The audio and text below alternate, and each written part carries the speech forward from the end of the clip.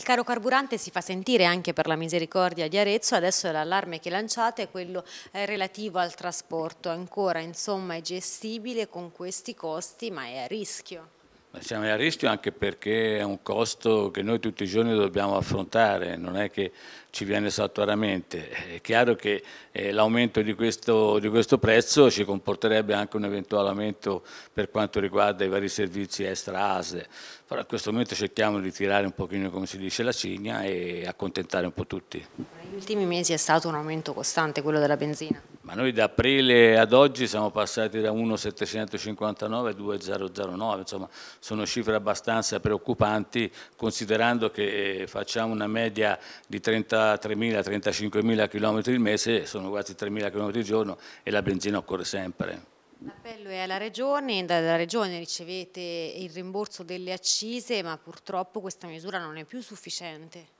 non è sufficiente anche perché ormai i prezzi di servizio sono rimasti a, a 7-8 anni fa, insomma oggi siamo nel 2022, bisogna che a un certo punto anche a queste associazioni venga riconosciuto eh, non solo un certo rimborso ma anche i vari sacrifici che vengono fatti per mantenere in piedi questa struttura. La Regione si chiede un adeguato prezzo per quanto riguarda i servizi che siano equiparati al costo che noi affrontiamo, perché non è solo la benzina, è tutto legato a un insieme insieme all'aumento dell'energia elettrica, all'aumento dei vari materiali per le pulizie delle ambulanze, all'acquisto delle gomme, cioè, c'è tutta una spesa che purtroppo oggi con quello che ci viene riconosciuto incomincia a essere un po' preoccupante per il bilancio. Potrebbero essere a rischio anche i trasporti un domani se non si trova una soluzione. Eh beh, questa è vero che è un'associazione di misericordia che deve cercare di aiutare il più possibile tutti, però eh, quando si arriva in fondo al mese